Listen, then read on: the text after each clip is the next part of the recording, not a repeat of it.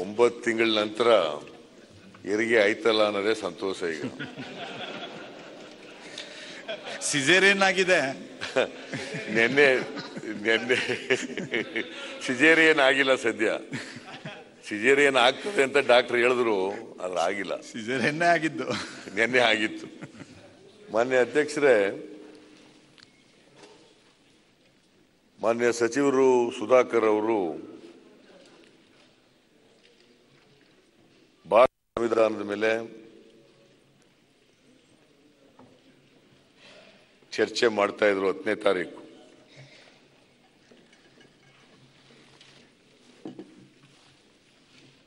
ಅವರು ಮಾತನಾಡುವಾಗ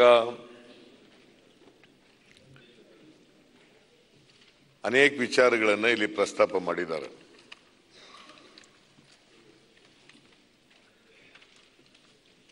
ಆಗ ಮಾತನಾಡುವಾಗ ರಮೇಶ್ ಕುಮಾರ್ ಅವರು ಒಂದು ಪಾಯಿಂಟ್ ಆಫ್ ಆರ್ಡರ್ನ ರೈಸ್ ಮಾಡಿದ್ದಾರೆ. ಈ ಸದನದಲ್ಲಿ ನಮ್ಮ ನಿಯಮಾವಳಿಗಳಲ್ಲಿ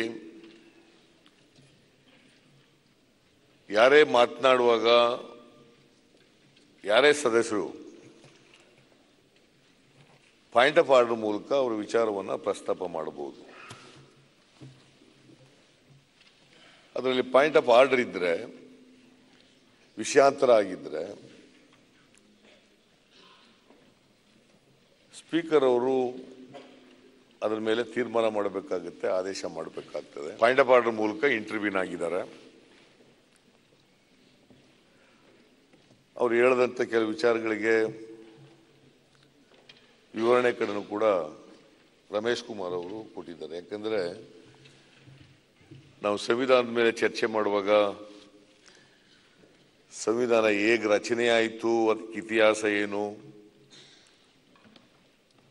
ಅದಕ್ಕೆ ಯಾರ್ಯಾರು ಆ ಸಂವಿಧಾನ ರಚನೆ ಆಗಲಿಕ್ಕೆ ಕೊಡುಗೆಗಳನ್ನು ಕೊಟ್ಟಿದ್ದಾರೆ? ಈಗ ನಮ್ಮ ಸಂವಿಧಾನ ಯಾವ ಆಶಯಗಳನ್ನು ಇಟ್ಕೊಂಡಿತ್ತು ನಮ್ಮ ಸ್ವತಂತ್ರ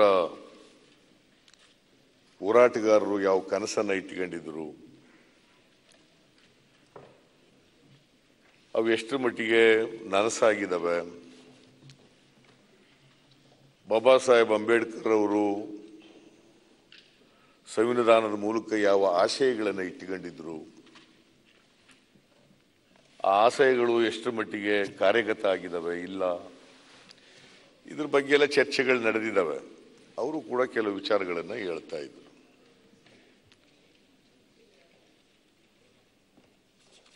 ಆಗ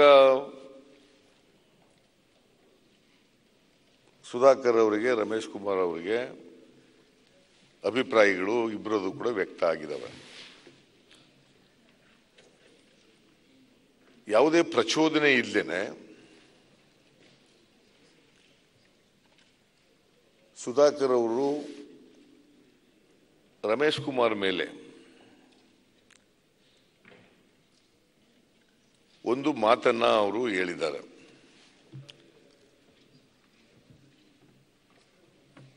ಈ ಸದನದಿಂದ ನನಗೆ ಅನ್ಯಾಯ ಆಯಿತು.